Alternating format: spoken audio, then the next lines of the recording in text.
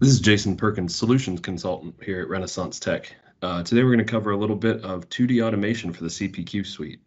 Uh, here I have loaded a door demo. You can see on the right we have uh, door models loaded that are dynamically adjusting to the inputs that we give it.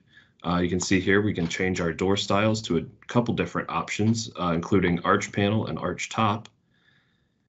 And then if we go and update different fields, we're able to dynamically regenerate this model here on the right and get an output that is of sales quality, not exactly the, the accuracy that you'd want on the shop floor, but it will generate an output in multiple different file types uh, based on our configurations. Um, next, we're going to take a look at the rules in the that run the background of generating these images.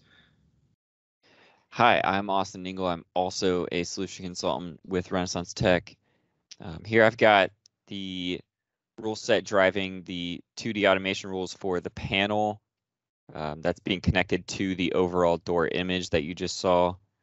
Um, so here we've got, you know, the 2D rules are typically sectioned out, um, or there are typically three types of 2D rules, one being the rules that load in the models, um, load in the settings, one being the uh, geometry changing rules, um, then the last kind of section being the output of the 2D image. So the first section, you know, we're going to load in just the panel model. We've already at this point loaded in the full door, the rest of the door rather. Um, and we're loading in just the door panel 2D model here, giving it a name. Moving on to the geometry changing rules, we're going to set the parameters to whatever the user selected.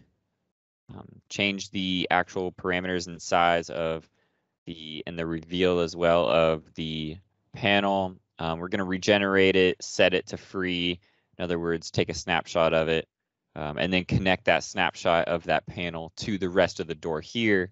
Um, we're connecting it to the door frame at a specific point. Um, and then you eventually get do this enough to get the full image of all the models connected. Uh, then we have the output section.